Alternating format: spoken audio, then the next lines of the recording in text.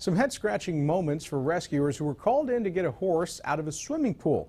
The Lionville Fire Company, along with a large animal rescue team, arrived to find this large horse in the water. The horse had to be sedated during the rescue, but with the help of an animal sling and a mechanical hauling system, the rescuers were able to hoist the horse out of the pool and onto dry ground safely within 90 minutes. I'm Ken Molestina, CBS Philly.